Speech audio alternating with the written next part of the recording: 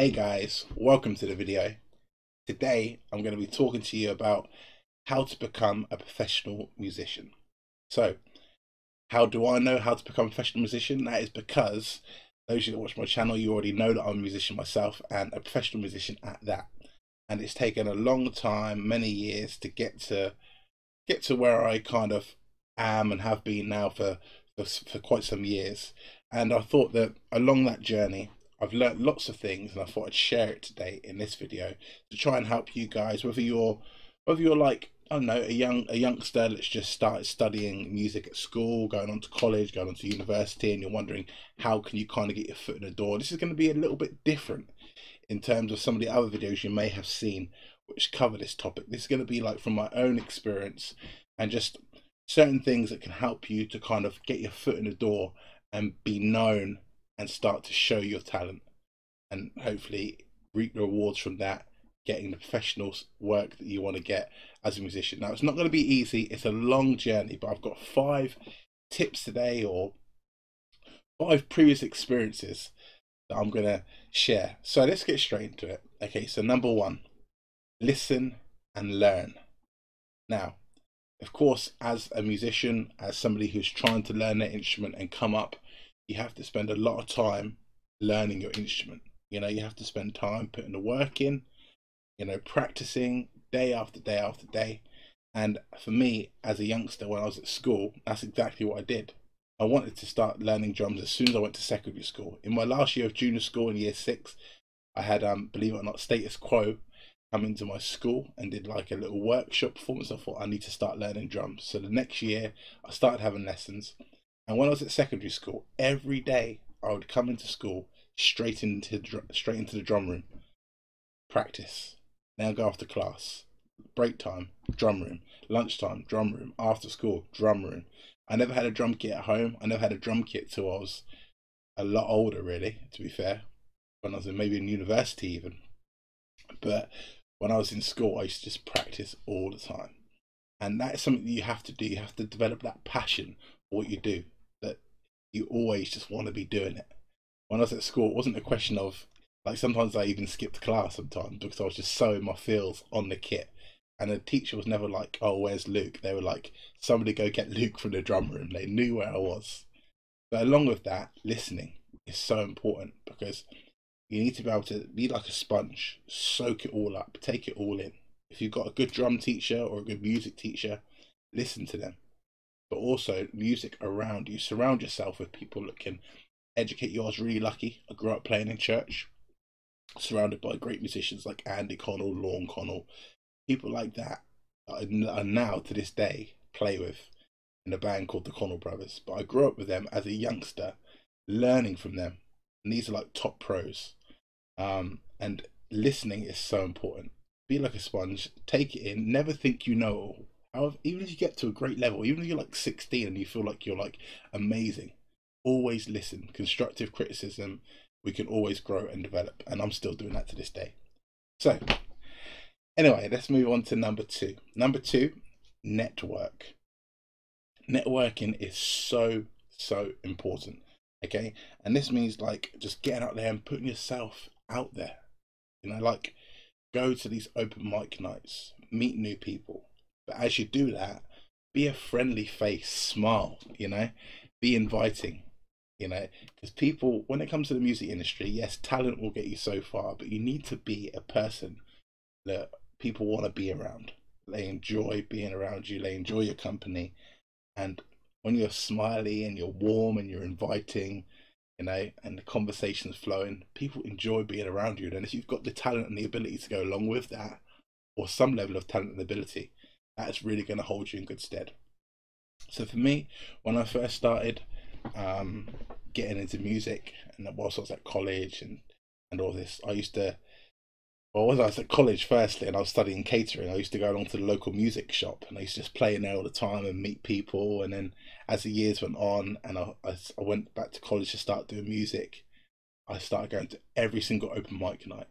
Like in Southampton, there was so many open mic nights, and almost every night of the week, and I was just there, just playing, networking, just kind of showing people what I could do, but also just you know just socializing So that was so important. Um, the network, network, network. Get yourself out there. Don't just be a bedroom player. I know it sounds easier said than done. Some people do get a bit in their shell and they don't want to go out and share their talent. But if you want to be a professional musician, if you want to get out there and play and perform with other people and start doing more high, high profile work, can't just lock yourself in the bedroom. You have to try and force yourself to get out there and just be, you know, be open and just learn and network and meet new people.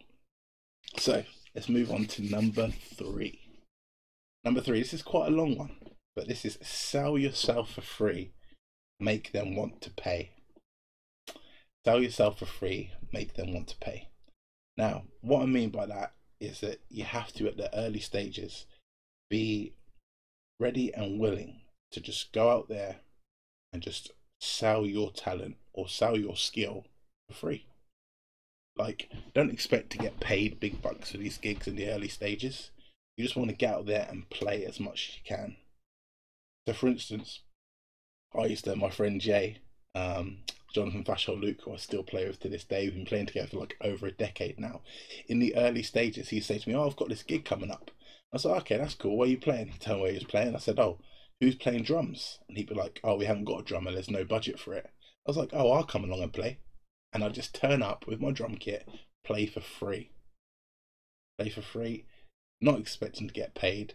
We had some uh, the 90 Degrees Live Lounge. Used to play there all the time. It was every Wednesday, or it might have been Sunday actually. I think we changed the day. It were Wednesdays and Sundays, but um, but I used to play there for free. Rock out with my cajon and just play. And then as time went on, the management was like, "Oh yeah, we, we we quite enjoy having the box. And Jay was like, well, you're not going to get it for free any longer. You know what I mean? You've got to pay. But even then, it started off with just 20 quid. 20 pound here, 20 pound there. Oh, you got a gig. Oh, I'll come play drums for you. They give me a tenner. You know, they might get me a drink. Something like that. I was getting nothing out of it. But what I was getting is just that opportunity to get out there and play and do what I love. And also share that with other people. And whilst selling yourself for free, trust me, in the long term, people are going to want to pay.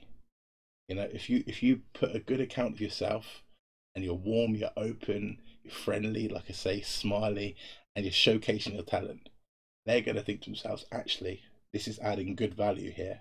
Let's start to, to pay. On the flip side of that, you have to be willing to know when to cut it off.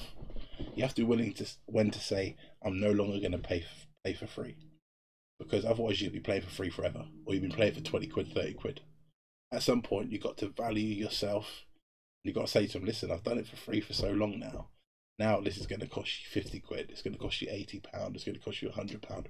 Whatever your price is, set your standards. But in the early stages, you can't expect to just rock up, start getting paid for gigs. I don't think so anyway, from my personal experience. I think one of the best things I did, and I love the fact that now I can share that with other young musicians coming up, just to get out there and just put yourself in the environment, in the right place at the right time. And that way you just build rapport with people, you're showcasing your talent, your ability, and eventually people are going to think, that Luke, that Johnny, whoever it is, we want to pay for them. We need to get them back. So, anyway, let's move on to number four. We're getting there. Number four, be confident, be noticed.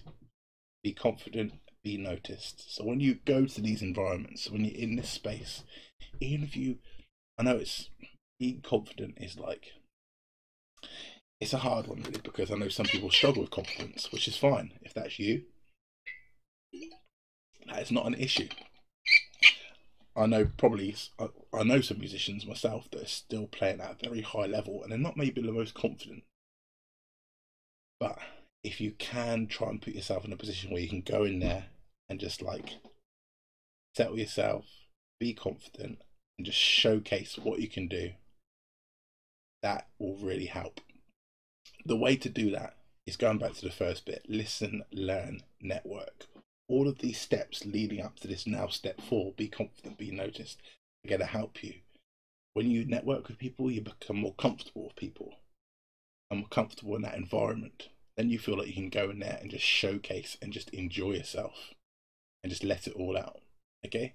And as you're learning and becoming better on the drums or whatever it is, your guitar, your singing voice, whatever it is, as you learn and become more confident and comfortable in your own ability, that's going to help you when you go out there into these environments. So be confident is a, definitely a top tip for me.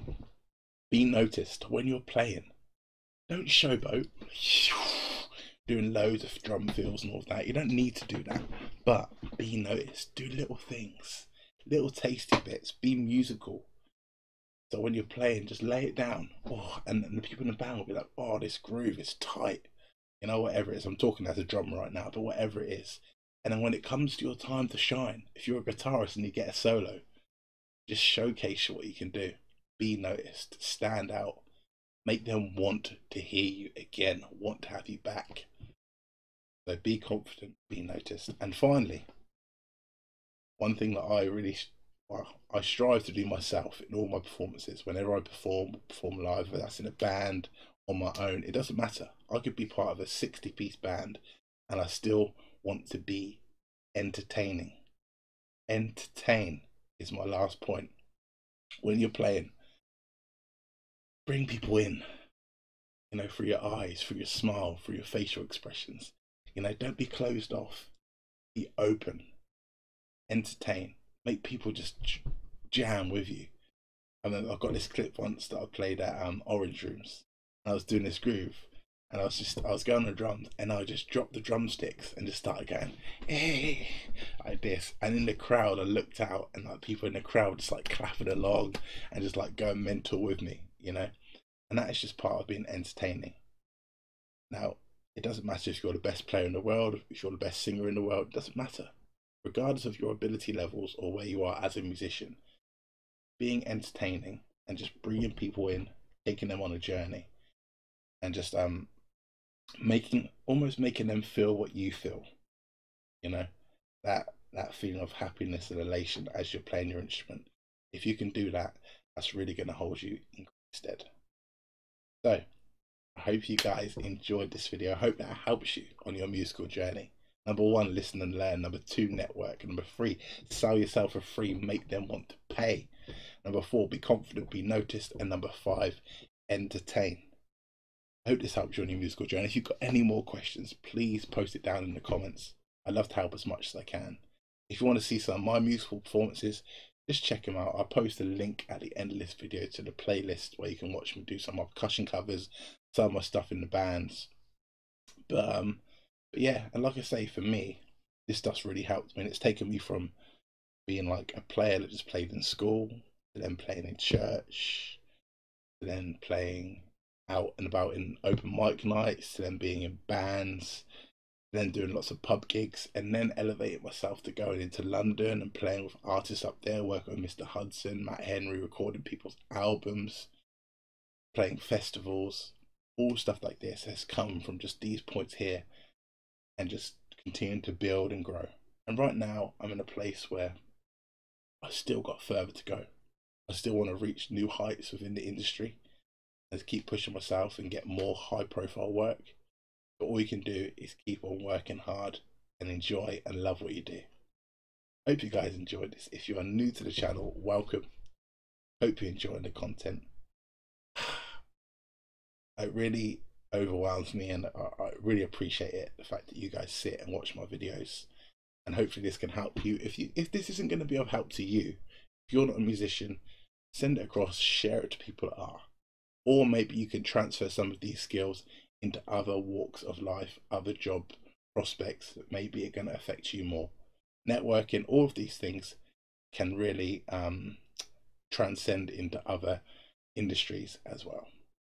If you're completely new to the channel, please don't forget to like and subscribe. I really appreciate all the support, and I will see you guys in the next video. Cheers.